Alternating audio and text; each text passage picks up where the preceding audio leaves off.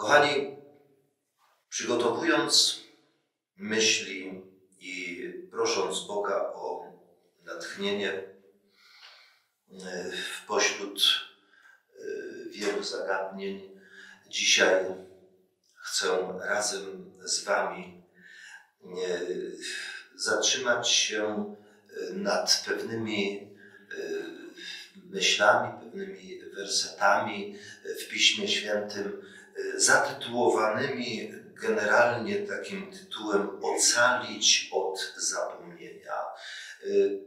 Tytuł ten, czy, czy, czy ten wątek zaczerpnąłem ze słów wyśpiewanych przez Marka Grechutę przed laty, słów napisanych przez Konstantego Ildefonsa Gałczyńskiego. Przywołam tutaj pewien fragment, bo jest on bardzo refleksyjny.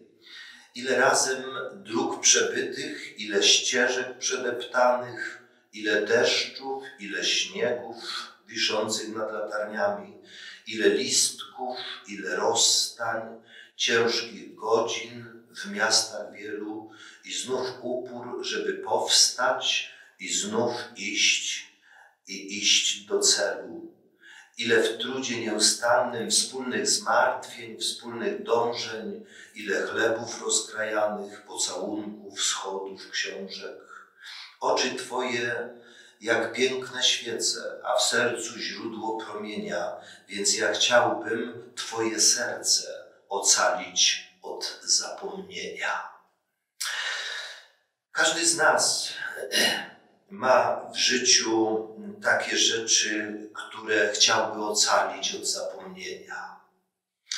Pamięć nasza jest takim nieogarniętym elementem naszego życia, że nie mamy nad nim kontroli, prawda? Myślę, że wszyscy uskarżamy się na słabą pamięć, że nam umykają, prawda? Niektórzy nie, mówią, mam dobrą pamięć, tylko krótką. Jakżeż nieraz chcielibyśmy coś zapamiętać, my tak bym chciał to zapamiętać, no i nie w ząb. Ale są takie sytuacje, w których mówimy, chciałbym coś zapomnieć. No, ale też aktem woli nie potrafimy z naszej pamięci wymazać pewnych wspomnień. Zapisują się w pamięci nieraz zupełnie przypadkowe jakieś sceny, które niewielkie mają znaczenie, podczas gdy chcielibyśmy, żeby pozostały w pamięci inne rzeczy, nie, pozostają. W takim razie, w jaki sposób możemy coś ocalić od zapomnienia? No mamy różne sposoby ocalania od zapomnienia, prawda? Zapisy, pamiętniki, jakieś pamiątki, które gdzieś przywozimy z jakichś miejsc, zdjęcia dzisiaj, prawda? To jest jedna z najpopularniejszych form zapamiętania. Gdy sięgamy pamięcią w przeszłość, spróbujcie przez moment sięgnąć pamięcią w przeszłość. Ile rzeczy z tej przeszłości pamiętamy? Niewiele. Niewiele. Jeszcze z ostatniego roku, z ostatnich dwóch lat być może, ale gdyby próbować odtworzyć w pamięci, jak spędziliśmy urlop 25 lat temu, prawda, w, w 1996 roku, ja też nie pamiętam. Ja też nie pamiętam. Owszem, sięgając do jakichś kronik, do jakichś zdjęć, można sobie przypomnieć. Natomiast, natomiast jeśli wspominam o tym, to tylko dlatego, że Pismo Święte i Bóg robi wiele wysiłków i zachęca nas do tego, abyśmy rzeczywiście, abyśmy rzeczywiście pewne rzeczy pamiętali. Drugi list Piotra, rozdział pierwszy. Drugi list Piotra, rozdział pierwszy. I werset dwunasty i trzynasty brzmi tak. Dlatego zamierzam zawsze przypominać Wam te sprawy, chociaż o nich wiecie, i utwierdzeni jesteście w prawdzie, którą macie. Uważam zaś za rzecz słuszną, dopóki jestem w tym ciele, pobudzać Was przez przypominanie. Kto z Was lubi, gdy ktoś inny Wam przypomina i to o oczywistych rzeczach? Ja mówię o oczywistych rzeczach, które zaniedbujemy. Jako ludzie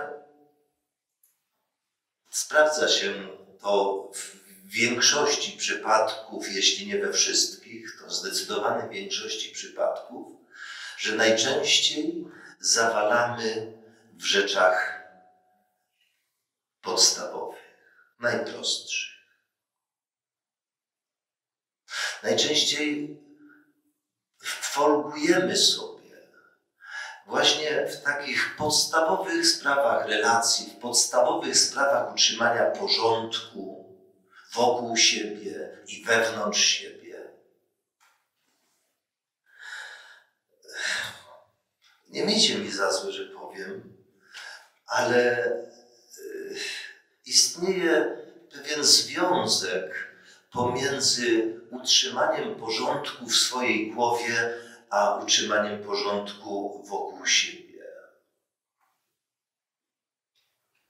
Uśmiechacie się. Tak, jak wyglądają, jak wyglądają nasze, nasze mieszkania, nasze biura, nasze podwórka.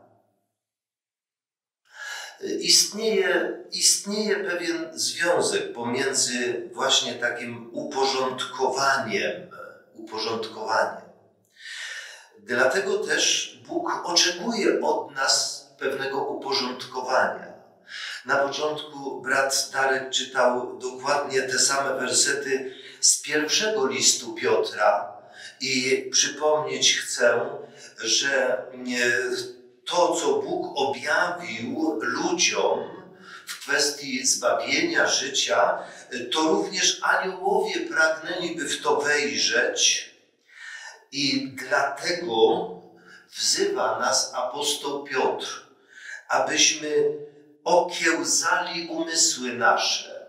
A w przekładzie Biblii Gdańskiej tam jest zupełnie inny zwrot, bo to jest pewien idiom hebrajski, który różnie może być przetłumaczony. W przekładzie Biblii Gdańskiej tam jest przepasawszy biodra myśli waszych. Przepasać się, prawda? Wiemy, że, że dawniej, gdy nie mieli tak dopasowanych ubrań jak my dzisiaj, guzik i guzików, tylko togi raczej owijali się, to jeżeli nie było coś przewiązane przez pas, to to, to się wszystko rozwiewało, to wszystko takie, takie nieopanowane. I ten obraz, ten idiom, ten, ten, ten, ten zwrot, który tutaj występuje, przepasawszy biodra myśli waszych, a nowy warszawski przekład mówi okiełzajcie umysły wasze. Słowo okiełzać jest wam znane? W niektórych środowiskach zupełnie nieznane, bo ono jest znane wśród tych, którzy mieli do czynienia z końmi prawda? Dlatego, że to okiełzanie to jest również pewne takie ujarzmienie konia, żeby, żeby mieć nad nim kontrolę, żeby trzymać go w porządku, żeby trzymać go w pewnych ryzach. Zatem pamięć, Piotr tak dosadnie to określił, że zamierzam przypominać Wam te sprawy, chociaż o nich wiecie. Chociaż o nich wiecie. Co Bóg pragnie pozostawić nam w pamięci? Moglibyśmy sporządzić długą listę tych rzeczy, o których powinniśmy pamiętać i przypominać sobie. No, wymieńmy niektóre przynajmniej z nich. I spójrzmy na mm, e, czwartą księgę Mojżeszową. Czwarta księga Mojżeszowa, rozdział piętnasty.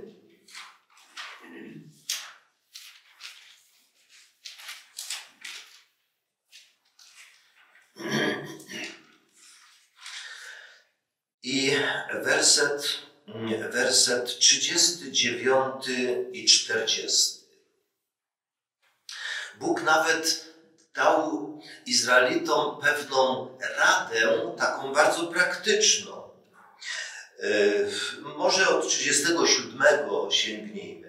Rzekł Pan do Mojżesza, przemów do synów izraelskich i powiedz im, żeby oni, ich potomkowie, porobili sobie frędzle na skrajach swoich szat, a przy frędzlach na skraju umieścili sznurki z fioletowej purpury. Będziecie mieli te frędzle po to, abyście, gdy na nie spojrzycie, przypomnieli sobie wszystkie przykazania pańskie. Hmm. I abyście pełnili i nie dali się zwieść swoim sercom i swoim oczom, które was prowadzą do bałwochwalstwa. A nas oczy nie prowadzą do bałwochwalstwa? Bóg dał pewną konkretną wskazówkę praktyczną, może nawet dzisiaj powiedzielibyśmy dziecinną. I czterdziesty werset. Abyście pamiętali i wypełniali wszystkie moje przykazania i byli świętymi Boga waszego. Nic nowego. My się krępujemy świętości. My nie lubimy mówić o świętości. A więc Bóg dał wskazówkę, w jaki sposób, w jaki sposób e, e, pomóc sobie. Pomóc sobie. Tylko, że wiecie, e, człowiek jest taki, że y, przyzwyczaja się do pewnych rzeczy, traktuje je formalnie, nie robią one już większego wrażenia. Potem pewne elementy traktuje dekoracyjnie albo może nawet trochę śmiesznie. Powiedzielibyśmy, no taka rada w dzisiejszym czasie, no, czy jest ona do przyjęcia, do zastosowania? Jak wyglądalibyśmy, jak bylibyśmy odebrani, gdybyśmy y, dzisiaj do ubrania przyszywali sobie y, frędzle y, różnokolorowe, prawda, takie czy inne.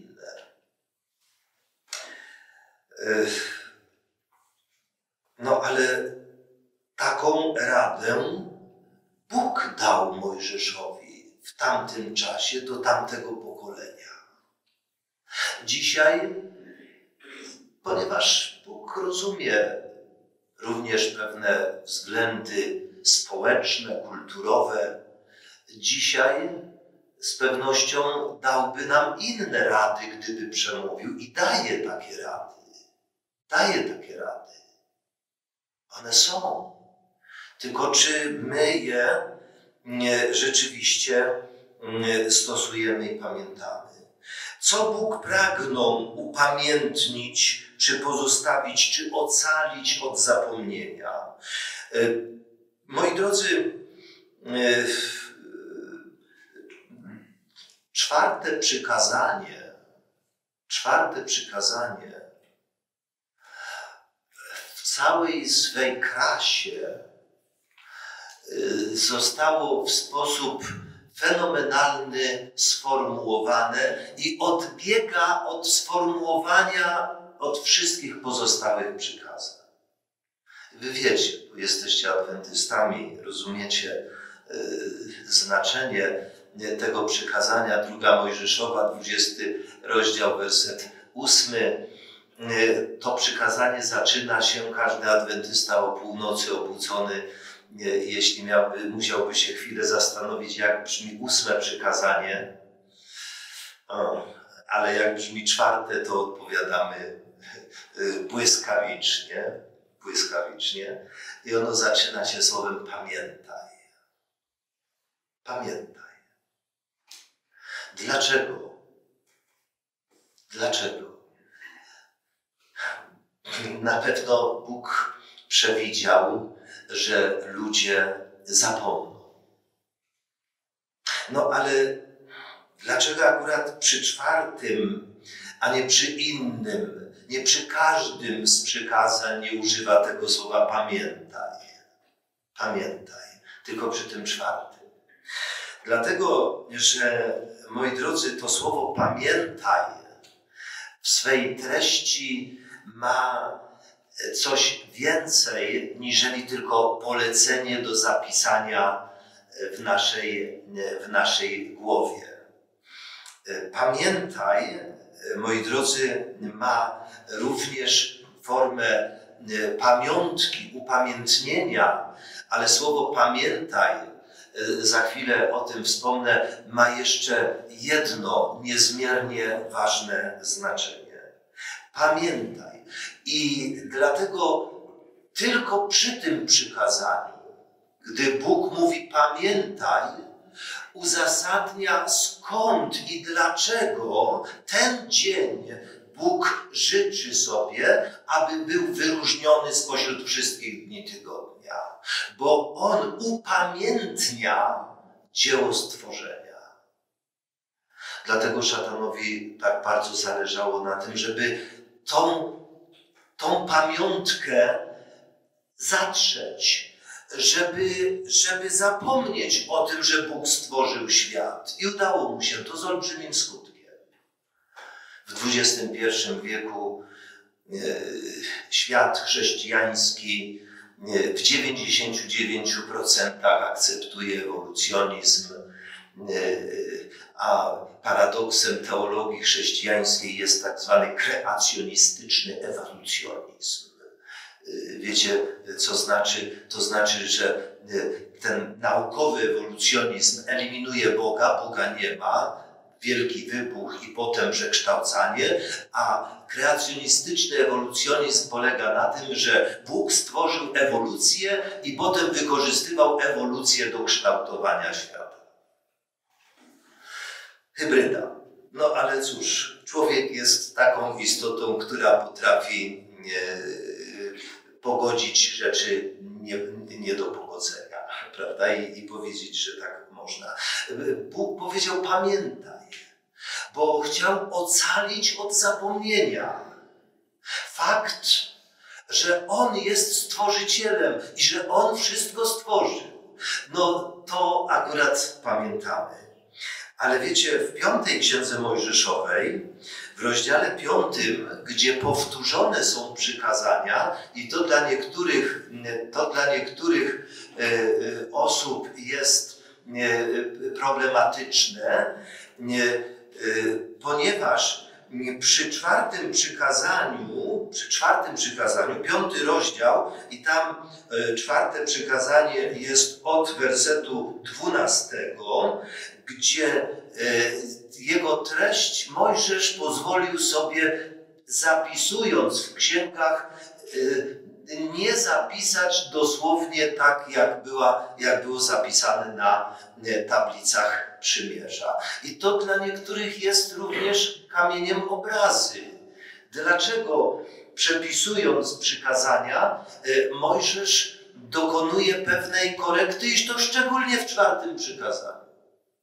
Dlatego dla niektórych teologów, dla niektórych komentatorów, e, piąta, piąty rozdział piątej Księgi Mojżeszowej stanowi, stanowi większy argument na temat przykazań niżeli druga Księga Mojżeszowa i stąd znajdujemy, znajdujemy twierdzenie, że święcenie soboty nakazał Mojżesz. Że to Mojżesz dokonał wyboru i wskazał, dlatego mówi się o sobocie jako święcie żydowskim, święcie Mojżesza. Natomiast, natomiast ja wierzę, że Bóg, że Bóg natchnął Mojżesza i wskazał mu, że sobota miała, otrzymała drugie zadanie, żeby upamiętnić jeszcze coś innego. I werset 15, werset 15 mówi: Pamiętaj, że byłeś niewolnikiem w ziemi egipskiej. To chciałbym zapomnieć. To chciałbym zapomnieć. Pamiętaj, że byłeś niewolnikiem w ziemi egipskiej. Kochani, gdy to czytam, od razu moje myśli biegną do rozmowy, jaką Pan Jezus przeprowadził z ludźmi, z pewną grupą ludzi, a pisał to Jan w ósmym rozdziale. Niektórzy z Was już również kojarzą ten fragment, ale otwórzcie, mimo że nie znamy ten fragment, ósmy rozdział Ewangelii Jana od wiersza 30 do 33. Gdy tak przemawiał Jezus, 30 werset mówi, wielu uwierzyło w Niego. Argumenty były przekonujące i wielu Jego słuchaczy uwierzyło w Niego. Mówił więc Jezus do Żydów, którzy uwierzyli w Niego. Dzisiaj około 3 miliardy ludzi wierzy w Chrystusa. Pomijając, że różnie pojmują pewne rzeczy, ale oświadczają, że wierzą w Chrystusa. Zgadzacie się? Około 3 miliardy ludzi na świecie wierzy w Chrystusa. Czyli gdyby te słowa uaktualizować, to są one skierowane do tych, którzy wierzą w Chrystusa. Jeżeli wytrwacie w słowie moim, prawdziwie uczniami moimi będziecie i poznacie prawdę, a prawda was wyswobodzi. Przepiękne zdanie. To zdanie dzieli wierzących na dwie grupy. Na dwie grupy. Wierzących prawdziwie, poznających prawdę i wierzących pozornie, o których za chwilę przeczytamy. Kochani, Y, słowa te w pierwszej kolejności skierowane były do konkretnej grupy ludzi fizycznie zebranych wokół Pana Jezusa. Zgadzamy się?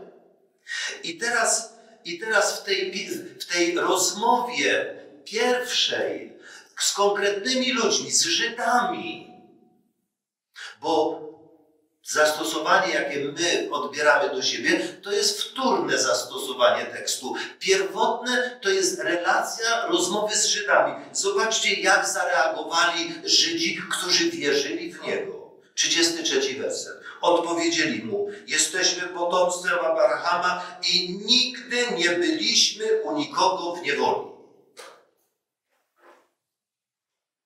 Potraficie to zrozumieć?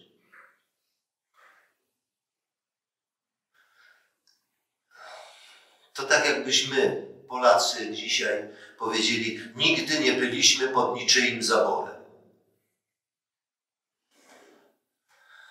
Ja tego nie umiem zrozumieć. Nie umiem wytłumaczyć.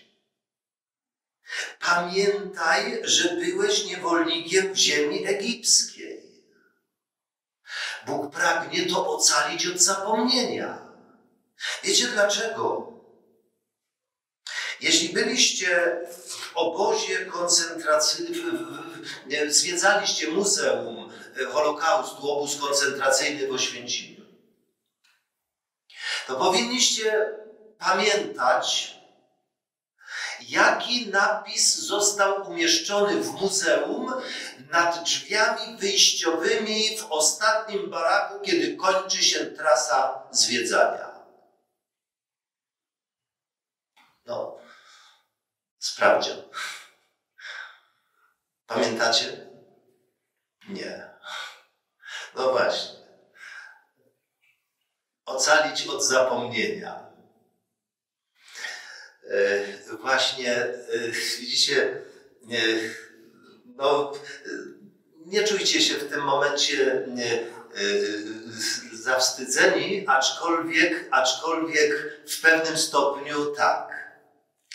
Nad, nad, nad drzwiami, z którymi już opuszczamy, wychodzimy, wypisane zostały dużymi literami, że trudno jest ich nie zauważyć. Nie da się przejść, aby ich nie zauważyć. Można jedynie nie przyłożyć do tego serca. Jest cytat bodajże Zofii Naukowskiej, która e, sformułowała pewne bardzo ważne zdanie. Naród, który zapomni swojej historii, skazany jest na ponowne jej przeżywanie. Człowiek, który zapomni swojej historii, może ją przeżywać po raz drugi. Pamiętaj, że byłeś niewolnikiem w ziemi egipskiej. Dlaczego Bóg chciał ocalić to od zapomnienia, aby nie popadać drugi raz w niewolę? A uaktualniając, uaktualniając w nawiązaniu do słów, które w ósmym rozdziale Jan pisze dalej, gdzie Pan Jezus powiedział: Każdy, kto grzeszy, jest niewolnikiem grzechu. Jeśli was syn wyswobodzi, prawdziwie wolnymi będziecie. To przykazanie można uaktualizować i przeczytać bez szkody dla tekstu. Pamiętaj, że byłeś niewolnikiem grzechu, a Twoje oczy Cię z powrotem do tej niewoli prowadzą, bo zapomniałeś. Zapomniałeś skąd wyszedłeś. Zapomniałeś skąd wyszedłeś? Lgniesz z powrotem jak Izraelici i tęsknisz za czosnkiem i cebulą w Egipcie. Jak tam było dobrze. Czy nie zachowujesz się podobnie, bracie i siostro? Czy nie masz nieraz ciągot, żeby wrócić z powrotem? Pamiętaj, że byłeś niewolnikiem. Zapomnieliśmy, zapomnieliśmy.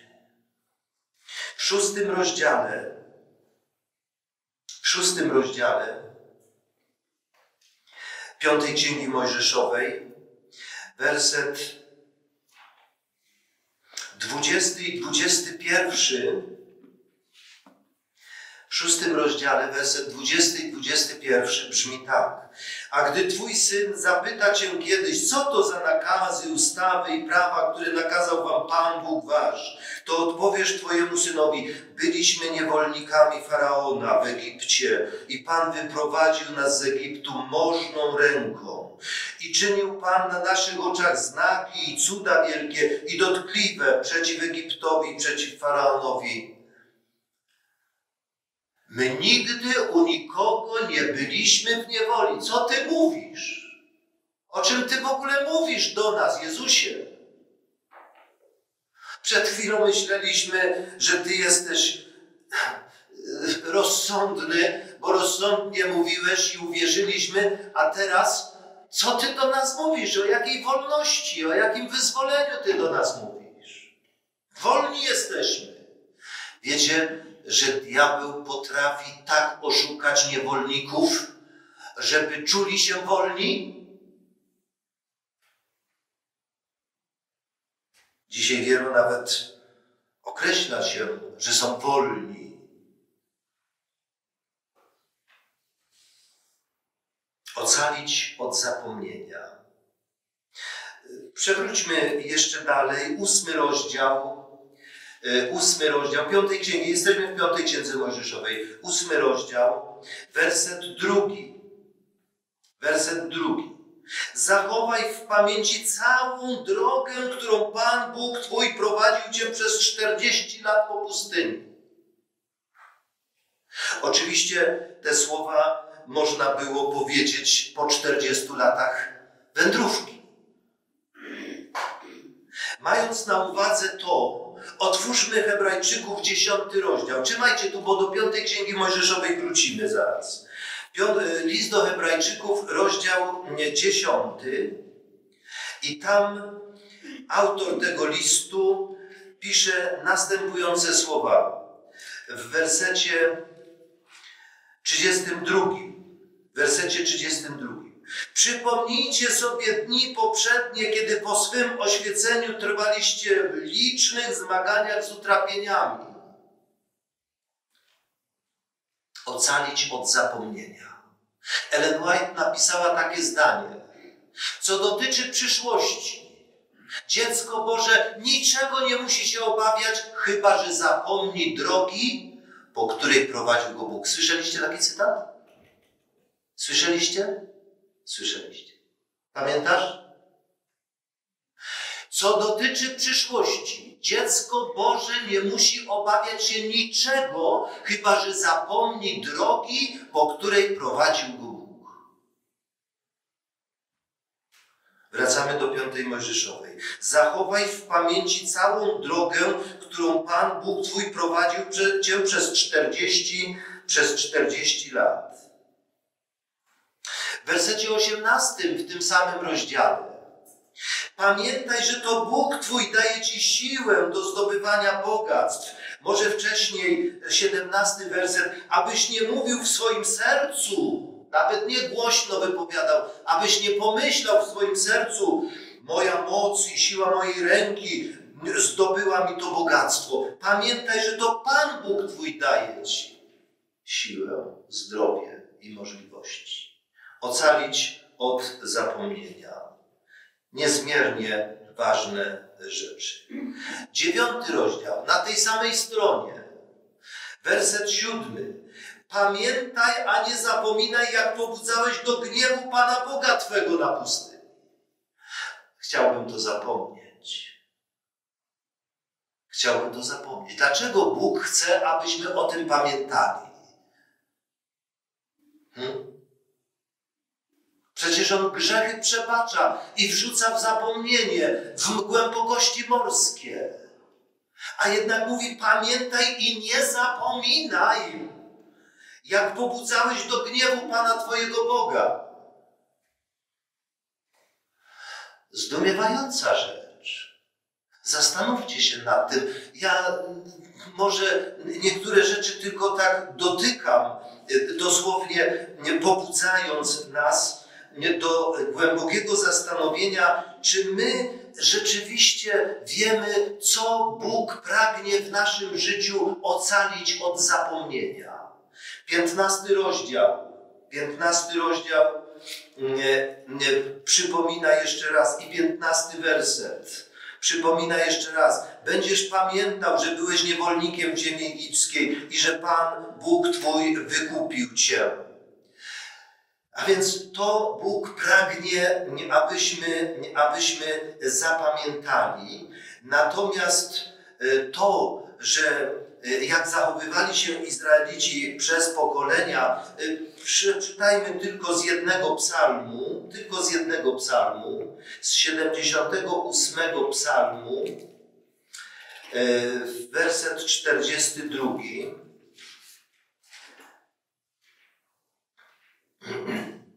Psalm 78 i werset 42.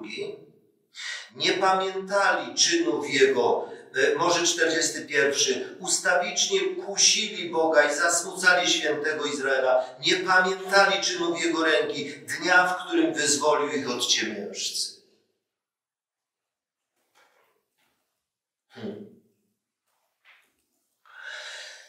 Zatem, moi drodzy, e, możemy, możemy e, odczytać takich wersetów e, dziesiątki w Piśmie Świętym zwracających uwagę, że Bóg pragnie ocalić, co Bóg pragnie ocalić w naszym życiu od zapomnienia. Co Bóg pragnie, abyśmy pamiętali rzeczywiście. I e, zwróćmy uwagę jeszcze na e, Księgę Jeremiasza, na Księgę Jeremiasza, rozdział 23. Księga Jeremiasza, rozdział 23 i tam werset 20 27, może przeczytajmy od 25 do 27. Słyszałem, co mówią prorocy prorokujący kłamliwie w moim imieniu, mówiąc: Miałem sen, miałem sen. Jak długo to trwać będzie? Czy ja jestem w sercu proroków prorokujących kłamliwie, prorokujących oszukańczo według upodobania własnego serca, którzy zmierzają do tego, by zatrzeć w pamięci mojego ludu moje imię? By zatrzeć w pamięci. Komuś zależy, żeby zatrzeć w pamięci pewne rzeczy, które Bóg chciałby ocalić od zapomnienia. To nie tylko prorocy, nauczyciele, kapłani w tamtych czasach. Bóg częstokroć wyrażał tą skargę, wyrażał tą, tą, tą, ten niepokój, że, że są ludzie, którzy chcą w pamięci ludu zatrzeć pewne rzeczy. I ze skutkiem udało się. Bo ten ósmy rozdział i ta krótka rozmowa Pana Jezusa z ówczesną grupą Żydów deklarujących swoją wiarę w Chrystusa są dowodem, że udało się szatanowi, bo on jest tu głównym inicjatorem, ze skutkiem zatrzeć w pamięci to, co Bóg pragnął, aby ocalał, aby ludzie pamiętali. Niech Bóg błogosławi każdemu z nas. Niech to studium będzie taką, takim wstępem, taką zachętą, taką prowokacją do tego, czy pamiętamy o tym, o czym Bóg pragnie, żebyśmy pamiętali. Czy wiemy, co Bóg pragnie, żebyśmy pamiętali, moi drodzy? Bo, bo jest też takie słowo, w którym jest te, te, ten rdzeń pamięć, to jest opamiętać się. Czasami trzeba opamiętać się, czyli przypomnieć sobie pewne rzeczy. I wierzę, że Duch Święty, który został posłany przez Pana Jezusa, on również w jednym ze swoich zadań, jakie Pan Jezus powiedział, będzie, będzie przekonywał, ale też będzie przypominał. On Wam przypomni. Jeśli tylko mamy ucho nastawione na to, co On chce nam mówić, co On chce nam przypomnieć, co, czego On chce nas nauczyć. Niech Jego imię będzie uwielbione. Amen.